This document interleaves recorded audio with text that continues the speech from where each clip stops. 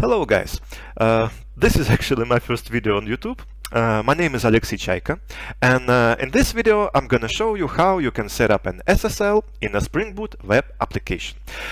I believe you have already noticed that almost all instructions in the internet say that you have to have a key storage file, you have to put a key pair there, you have to use a key tool for doing that. And actually this is true, but nowadays in the Spring Boot applications you can do it much easier. And you don't have to do this stuff with key tool at all.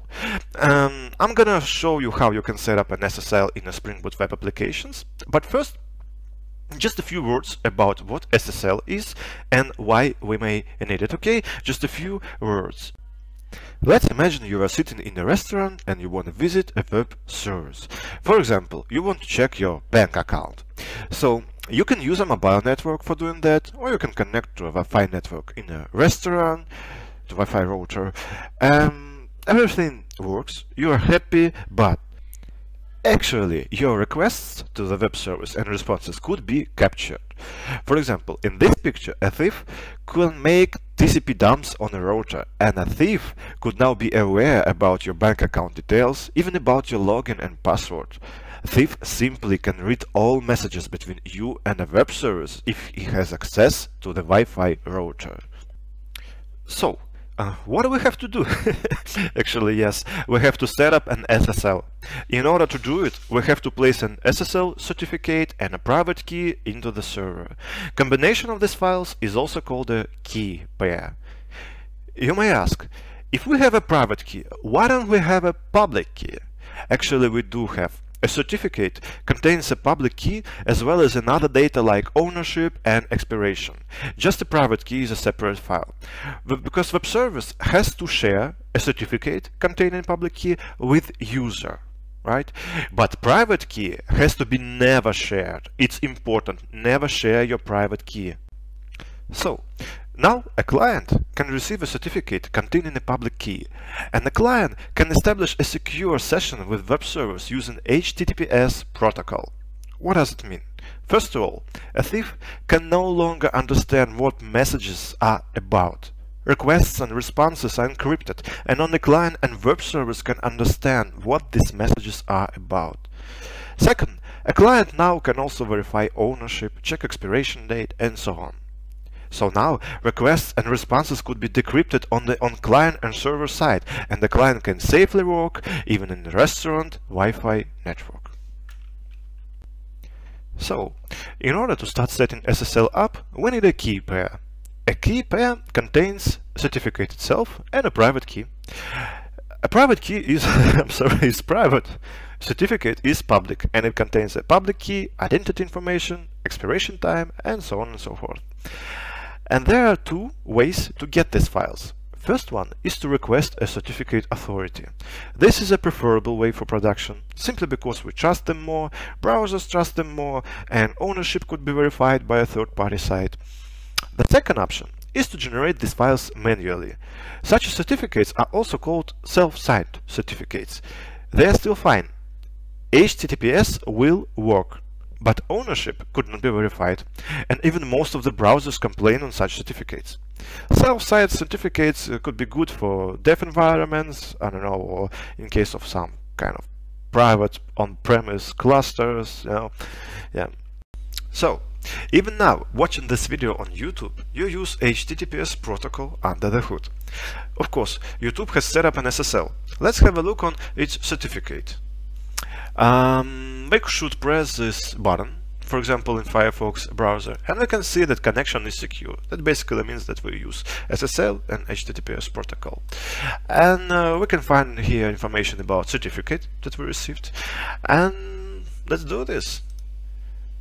Well, now we, we can actually see that there is not a single certificate is used here. There is a chain of certificate the first certificate, the second one, the third one, and the last one. And the last one is also called a root certificate. Actually, certificate chain is a popular solution nowadays. Thank you guys for watching me explaining why we do need an SSL. and sorry, I spent too much time. I just thought that it is really important and I have to remind you about that. Now let's switch to implementation. as I promised, no key tool will be used, so let's go. You can see here, I have created an initial project. Uh, let's have a look at its uh, dependencies. Uh, there is nothing special here. Uh, we can see, for example, a Spring Boot Starter web because we have a Spring Boot web application, right? And uh, we haven't set up an SSL. We have no certificate and private key here, and such application works on HTTP protocol, right? So let's uh, launch it and uh, check.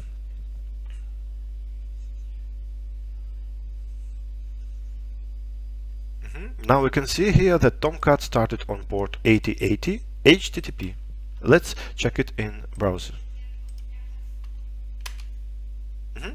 So HTTP protocol is used and now we have to set up an SSL but before doing that, uh, let's have a look at Spring Boot 2.7 release notes. Uh, we can see here one very important release note. Uh, web server SSL configuration using PEM encoded certificates. Let me zoom in. Yeah, I think it should be much better right now.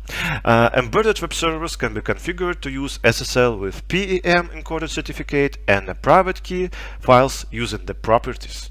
So now you just have to place uh, certificate itself and private key uh, into your application, specify required properties, and basically this is enough. SSL is gonna work and you could use HTTPS protocol and ownership could be verified if you use a certificate from certificate authority and so on.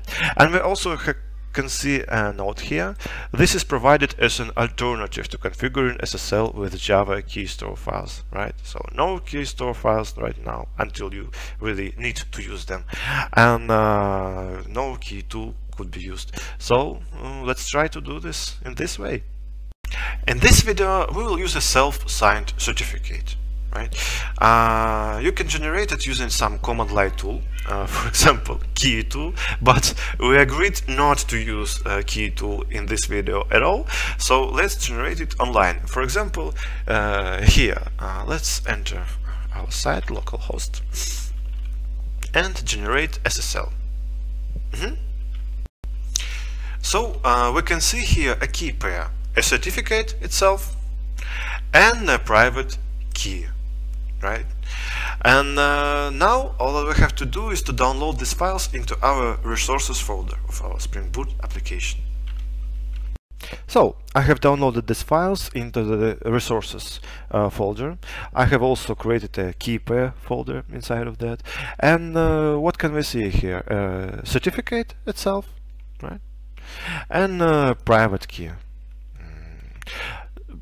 I want to pay your attention that in some cases, uh, if you uh, request a certificate from certificate authority, actually in most of the cases, you will receive a chain of uh, certificates certificates chain.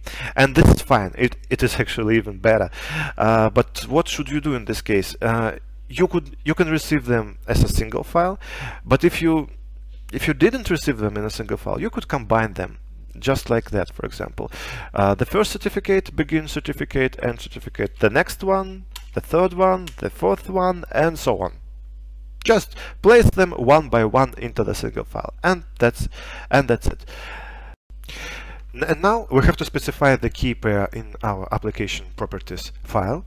And uh, but before doing that, I believe I have to remove what I have just added. I don't need this anymore. Yeah, application properties file. The first thing that you have to specify is a server is a server port. Uh, by default, all the browsers and other clients assume that they should use a port 443 for HTTPS connections. And uh, so if you don't want to specify a port in your URL explicitly, you could just specify the port number 443 in your application properties files. Uh, but if you want, you can use some another port, that's not a problem at all. So now let's uh, specify our key pair uh, without key storage file. It, we could do this using SSL property and certificate. Uh, we have put uh, our certificates into resources into the resources folder, so we could use uh, class path, and uh, we have a key pair folder here and a local host uh, dot crt uh, certificate file. Now let's do the same for a certificate private key. Let's specify this file location private key. Key. Oh I'm sorry. And let's try to launch our application. So let's do this. Mm -hmm. and now we can see that Tomcat started on port 443 HTTPS right? So everything is seems to be fine but let's try to open uh, it in browser. So uh, https actuator health. Let's try to do this.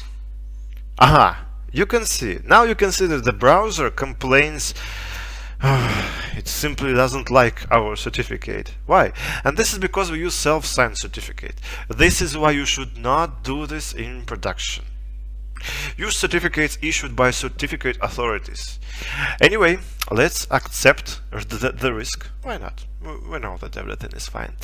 Yeah, and uh, we can see that HTTPS works actually. Uh, we can try to take a look at certificate and we can see our certificate. Uh, we can see that it was been, it has been issued for uh, local host and it's not a chain of certificate, it's our self-signed certificate and yeah, everything is actually fine, it works. Uh, congratulations, we have set up an SSL in our Spring Boot application without using a key tool at all. So, Thank you for your attention. Uh, we have set up an SSL in a Spring Boot application without using a key store file. Uh, actually, I believe in some cases using a key store file still could be useful. Uh, for example, if you want to store uh, several key pairs in a single key store file or something else. And uh, I hope this video was useful and helped somebody. If you have any suggestion, mm, give me know. And if you're interested in something else, that you think I can explain uh, pretty well, you can also share with me in comments. So uh, have a wonderful rest of the day and uh, bye bye.